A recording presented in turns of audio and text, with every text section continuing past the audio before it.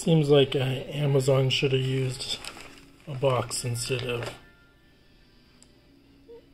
putting it into this bag. I think it's pretty broken up.